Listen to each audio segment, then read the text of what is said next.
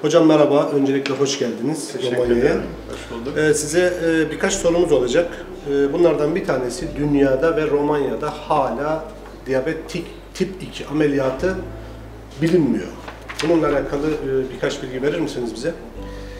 Ee, yavaş yavaş farkındalık artıyor. Ee, bundan yaklaşık 15-16 yıl önce biz sadece 8 kişiydik. Dünya üzerinde bu ameliyatları yapan. Şimdi sayımız belki bine yaklaşıyor.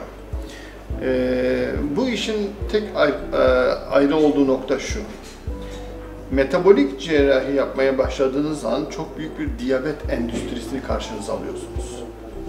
Ve meslektaşlarınızın da bir kısmını karşınıza alıyorsunuz. Sorun tamamen buradan kaynaklanıyor.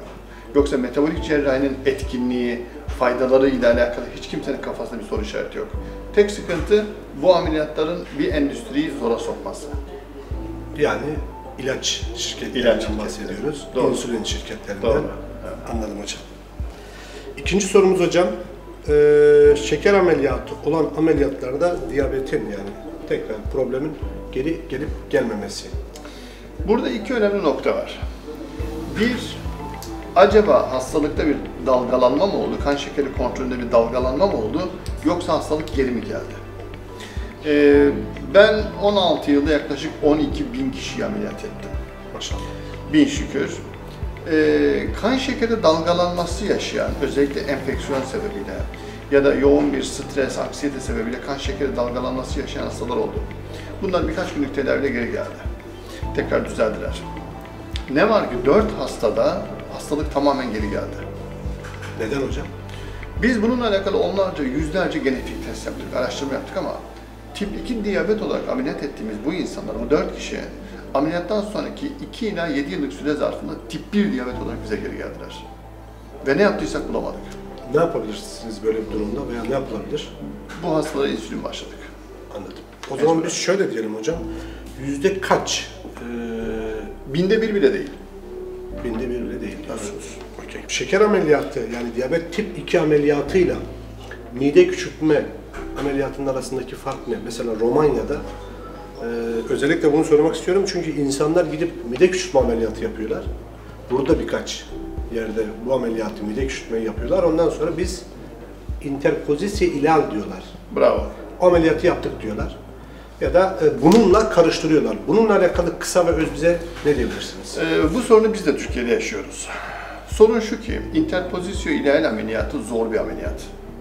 Üç tane bağlantı yapmanız gerekiyor. Bu bağlantıların arasındaki boşlukları elle kapatmanız gerekiyor. Ve bu bağlantılardan bir tanesini, ikinci bağlantıyı robotla yapamıyorsunuz. Onu parmaklarınızla, ellerinizle yapmanız gerekiyor. Zor bir ameliyat teknik olarak. İşte bu yüzden cerrahların çoğu böylesine zor bir ameliyata girmek istemiyorlar. Basit bir mide küçültme ameliyatı yapıp işin içinden çıkmak istiyorlar. Ama burada şeker, diyabet problemi Doğru. çözülmüyor. Doğru. Doğru. Evet. Mide küçültme ameliyatı yapılan insanlarda obezite de çözülmüyor bu arada. Bu insanlar birkaç yıl iyi gidiyorlar. 3-4 yıl iyi Ondan sonra gidiyorlar. tekrar kilo almalar Bravo. başlıyor. Dördüncü yıldan sonra tekrar kilo alıyorlar. İdeal interpozisyonda bu yoktur. Tekrar kilo alma yoktur. Peki hocam şekeri olmayan bir hastaya, diyabet problemi olmayan bir hastaya, sadece kilolu olan bir hastaya bu ideal ameliyatı uygun mudur? Hayır. Değil. Bu ameliyat onlarda aşırı şeker düşmesine sebebiyet verir. Onlara Hipo. farklı ameliyat yapmak. Doğru. Tamam. Onlara farklı işlemler yapmak gerekiyor. Teşekkür Hastalarımıza e, ameliyattan sonra ne önerirsiniz? Daha böyle güzel bir, e, konforlu bir hayatları olması için. Benim isteğim şu.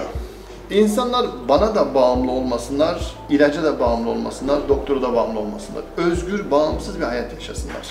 Bunu istiyorum. Ama bunun için dikkatli olmanız gerekiyor.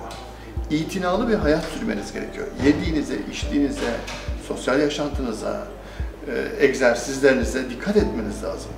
Tek istediğim bağımsız bir hayat yaşasınlar ama itinalı bir hayat yaşasınlar. Anladım hocam. Bu soruların haricinde ben size özel bir soru soracağım hocam. Yüzde kaç şansı var bu ameliyatın? Yüzde 92, çok 93. soruyorlar. 10 yıllık araştırmamızın sonuçları %92-93 başarılı işaret ediyor.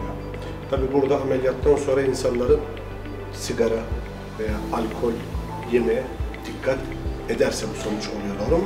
Hiç dikkat etmiyorlar. Ben söyleyeyim sana. Hiçbirisi Olmamasına rağmen yüzde 92. etmiyor. Aynen öyle. Olmamasına, dikkat etmemelerine rağmen 92-93. Bu bizim için gerçekten iyi bir Tabii ki. rakam. Elinize ayağınıza sağlık. Eyvallah canım.